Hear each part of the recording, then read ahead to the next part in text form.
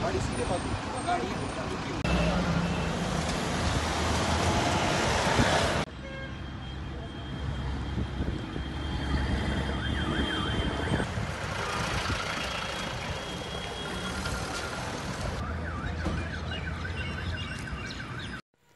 Subscribe to our channel and push the bell icon to get video notifications on your smartphone.